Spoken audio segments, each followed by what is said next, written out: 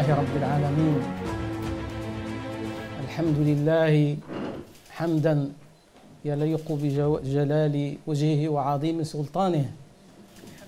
الحمد لله لك يا ربنا حتى ترضى ولك الحمد إذا رضيت ولك الحمد بعد الرضا. لك الحمد كما ينبغي لجلالك لجلال وجهك وعظم سلطانك. أيها الإخوة الكرام أيتها الأخوات الكريمات في هذه اللحظة المباركة نعلن اختتام فعاليات هذه الذكرى المباركة ذكرى الأربعين لتأسيس جماعة العدل والإحسان بعد شهور من الحضور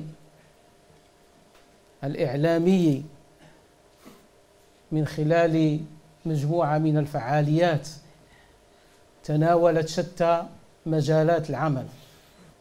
عشنا خلال هذه الشهور أياما مباركات أياما ذكرتنا بفضل الله عز وجل علينا. وما أنعم به المولى عز وجل على هذه الجماعة المباركة. فنحن نقف لنحمد الله عز وجل ونشكره وأن له لنا أن نؤدي نعم نعمة الله وشكر نعمته علينا. فهو سبحانه وتعالى نسأله أن يؤدي علينا شكر نعمه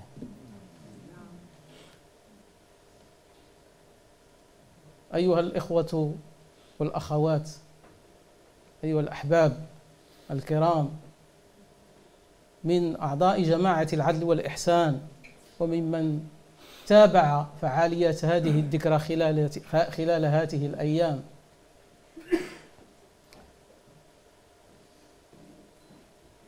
حينما قررت جماعة العدل والإحسان أن تحتفي وتحتفل بهذه الذكرى جعلت أمام أعينها مجموعة من الأهداف أرادت أن تحققها من خلال هذه هذا الاحتفال.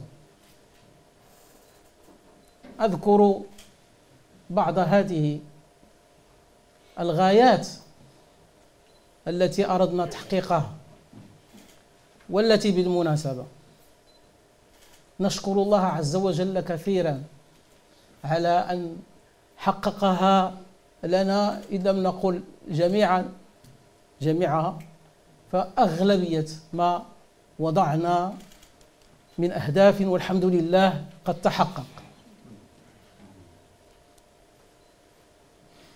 كان الهدف الأول هو الوفاء للجيل المؤسس وفي مقدمته بالطبع الإمام المرشد عبد السلام ياسين رحمه الله. ومعه مجموعة من الرجال والنساء منهم من قضى نحبه ومنهم من ينتظر. نسأل الله سبحانه وتعالى ألا يبدلوا تبديلا. وقد أعطوا برهان الصدق والثبات والحمد لله على ذلك. ولا يمكن أن نقدر هذا العمل حق قدره إن لم نعرفه ولم نستحضره ولم نستعرض المراحل التي مر بها. فعملت فعالية هذه الذكرى على استعراض مجموعة من مراحل التي مرت بها هذه الجماعة منذ التأسيس منذ أن كانت نواة أعضاؤها لا, لا يتجاوزون أصابع اليد.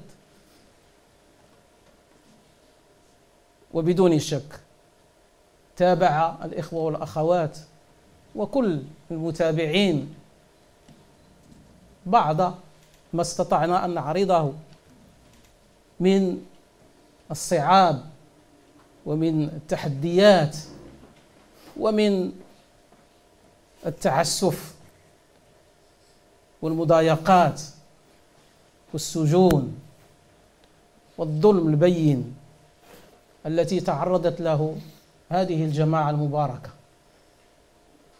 لكن الله سبحانه وتعالى قواها وثبتها وأنجح مساعيها حتى كبرت واستوت على سوقها وبلغت الأربعين. والحمد لله على ذلك. أجيال التحقت بالجماعة. ربما غاب عنها ما وقع في البداية في البدايات. لكن الوقوف عند هذه المحطات حاول أن يشعرها بهذا المشعل الذي ستتسلمه. إشعارها بما بذل من جهود في سبيل بناء هذا الصرح العظيم. نسأل الله سبحانه وتعالى أن يمتد عبر الأجيال المقبلة. هذا ضمن الأهداف التي حققناها. والحمد لله هدف ثاني وهو الذي عبر عنه في البداية في افتتاح هذه الفعاليات السيد الأمين العام بأننا جماعة ليست منغلقة أننا جماعة منفتحة على الآخر. جماعة تمد يدها للناس لكل الناس بمختلف مشاربهم. كي نتعاون على الجزء أو القاعدة التي نشترك فيها. ولم يكن هذا الأمر شعارا نرفعه فقط بل أثبت التجربة والممارسة والسلوك والعمل التي قامت به الجماعة. الحمد لله أنها بالفعل تسعى إلى ذلك. من خلال انفتاحها على الناس من خلال فتح أحضانها وبيوتها لجميع الناس. فحضر كثير من فعاليات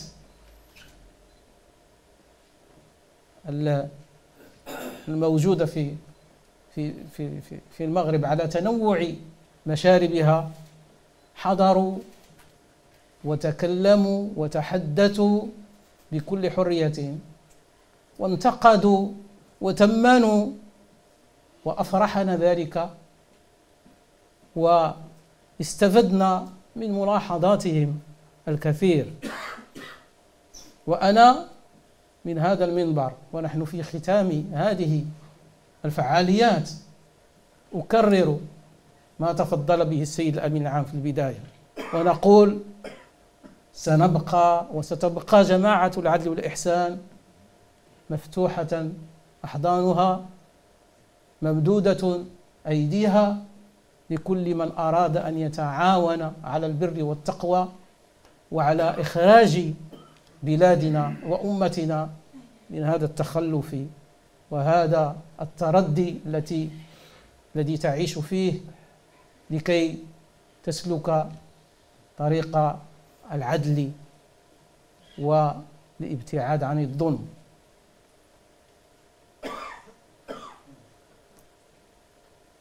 من الأهداف التي سعينا إلى تحقيقها كذلك هي تعريف الناس بأن الروح الذي اجتمعت عليه جماعة العدل والإحسان هي مصير الإنسان هي تذكير الإنسان بمصيره. هناك أمور قد تبدو للجميع أنها شيء معروف لكن عمليا الناس غافلون عن الاستعداد للآخرة. ولقاء الله عز وجل. واستحضار عمليا أن هذه الدنيا دار مرور ودار عبور وليست دار قرار. فلذلك عملت فعالية هذه الذكرى من خلال مجموعة من المحطات التربوية لإبراز هذا الجانب ولإظهاره للناس ولتنبيه الغافلين عنه. وأعتقد أن الإشارات التي كانت في هذا المجال قد وصلت لكثير من الناس. أيها الإخوة والأخوات يعز علينا أن نختتم. هذه الفعاليات بعد أن عشنا معها أياما كثيرة. فأتوجه للجميع خصوصا خارج الجماعة. نقول لهم ها أنتم تعرفتم على الجماعة ونرجو أن يكون آه، بحثكم عن هذه الجماعة من خلال ما تعرضه الجماعة عن نفسها لا من خلال ما تعرضه الجهات الحاقدة وغير المنصفة. ها أنتم قد عرفتم. فلمن أراد أن يتعاون معنا على الخير وعلى العمل الصالح وعلى مصلحة الأمة ومصلحة البلاد فنحن مستعدون. ونقول لعامة الناس يا أحبابنا يا إخواننا يا أخواتنا في أمة رسول الله صلى الله عليه وسلم. ها هي مبادئنا ها هو مشروعنا ها هي غاياتنا. محبة الخير للناس والسعي إلى لقاء الله عز وجل حتى نلقاه وعنا راض. السعي في عمل العمل على النهوض بهذه الأمة. فهذه سفينتنا فتعالوا اركبوا معنا.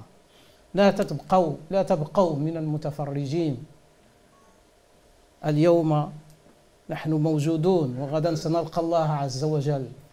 فمتى نبقى ننتظر أو نتفرج؟ هلم اركبوا معنا تعاونوا معنا فنحن جماعة تتوب إلى الله وتتعاون وتسعى وتدعو الناس لكي يتوبوا معها إلى الله. نسأل الله سبحانه وتعالى أن يوفقنا وأمتنا للخير وللعمل الدؤوب إنقاذ أمة رسول الله صلى الله عليه وسلم. نسأل الله سبحانه وتعالى التوفيق والسداد لجميع من يريد الخير لأمة رسول الله صلى الله عليه وسلم. أقول قولي هذا وأستغفر الله لي ولكم. والسلام عليكم ورحمة الله.